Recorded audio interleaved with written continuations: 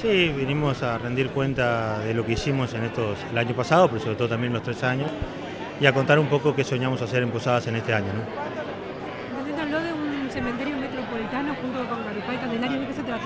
Eso es, es una idea que venimos trabajando y que está, se está desarrollando a través de lo que es el AMI, que es el desarrollo de áreas metropolitanas. Es un proyecto que viene siendo financiado por el BID y cual los equipos técnicos trabajan distintos temas. Que no, uno de los temas es infraestructura y a partir de ese tema salió la propuesta de avanzar en un cementerio metropolitano, que es una, una idea que tenemos que desarrollar en el tiempo, con un aliado estratégico como es el IPRODA, y, pero eh, que nos parece importante mirar ya no las cosas localmente, sino tener la posibilidad de mirarlas regionalmente. ¿Han visto un lugar, algo? Este, sí, obviamente estamos, estamos pensando en un lugar que ya hemos hablado con el IPRODA, pero tenemos que seguir avanzando en ese proceso. En el presupuesto participativo, bueno, también hablaba de cifras importantes ya invertidas y para este año. ¿A qué se le dará importancia?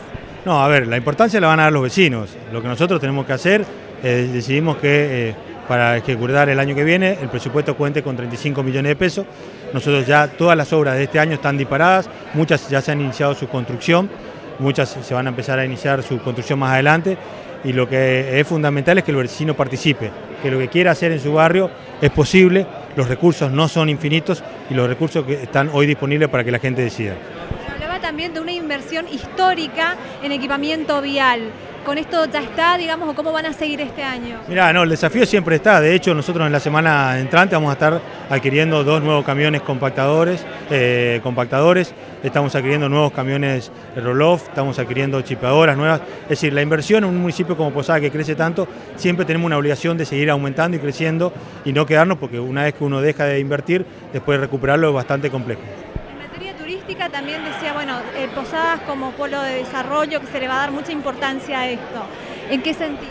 A ver, lo venimos trabajando y estamos desarrollando. Hemos pasado de ser una ciudad que tenía entre 40 y 80 eventos o congresos a tener 210 el año pasado. Es un número importante y creo que eso tiene que generar una conciencia en toda la sociedad para lograr este objetivo.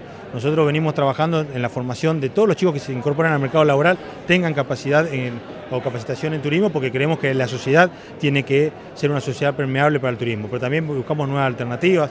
Hace poquito estuvimos con el gobierno de Corrientes, porque entendemos que los de liberal, la puerta para los Estero liberal debe ser posada, no tenemos que desaprovechar esa oportunidad y para eso vamos a trabajar en conjunto. ¿no? en materia impositiva o para los contribuyentes, lo que tienen que ponerse al día, la recaudación de la municipalidad de la ciudad de Posadas, ¿cómo está? Bueno, la recaudación está golpeada como está golpeada la economía de la ciudad de Posadas. Nosotros entendemos eso, pero lo intentamos hacer con la mayor eh, cuidado de los recursos que no son nuestros, son de los vecinos, son de cada uno que paga su tasa. Y la verdad que hemos tomado decisiones el año pasado, como habilitar o no cobrar las tasas por el uso de la mesa y silla para el, para el restaurante gastronómico. Se ha, se ha exceptuado del cobro a los monotributistas que iniciaban su actividad. Hemos puesto en marcha la ventanilla única. Hoy hemos anunciado los pisos, de, que hemos incrementado el piso para el cobro de, de, de las retenciones las percepciones por parte de los comercios, que era una demanda que nos, acercó el Consejo Profesional de Ciencia Económica. Así que vamos a seguir en esta línea de intentar colaborar y ser parte de la solución de todo, que entendemos que debe ser el rol del municipio. ¿no? Pedía responsabilidad también al final de su discurso a los concejales, eh, particularmente en algo en especial. No, a ver, siempre planteo que se va a venir la campaña y lo que nosotros tenemos que hacer es ser honestos con los posadeños, prometer cosas que se puedan cumplir.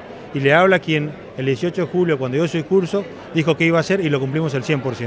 Prometer en campaña es facilísimo, generar expectativas en la gente es muy fácil. Ahora, lo que hay que hacer es tener la responsabilidad de tener un pensamiento que supere simplemente una trayectoria de, un proceso electoral. Si no, nos pasa como nos pasó en el gobierno nacional, que prometieron inflación cero, que era una pavada resolverlo, y hoy tenemos niveles inflacionarios muy altos. Entonces digo, eh, la verdad que esas cuestiones son cuestiones que yo siempre pido a toda la dirigencia política, porque la frustración de la sociedad es grande, ¿no?